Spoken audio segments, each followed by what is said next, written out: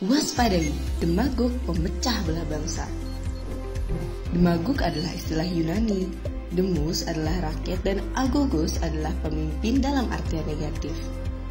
Cara untuk meraih kekuasaan dengan cara menghasut. Dan memanfaatkan ketidaktahuan rakyat. Mengeksploitasi prasangka sehingga memicu kebencian rakyat dibuat tidak mau menerima pendapat orang lain. Bentuk agitasi memang bisa berbeda, tetapi taktiknya sama. Kenali 9 metode yang sering digunakan para demagog. 1. Mengkambing hitamkan kelompok tertentu. 2. Menyebar isu yang menakutkan terhadap publik. 3. Berbohong untuk memancing emosi publik. 4 orasi untuk menebar pesona. 5. Berbuat brutal untuk menunjukkan kekuatan.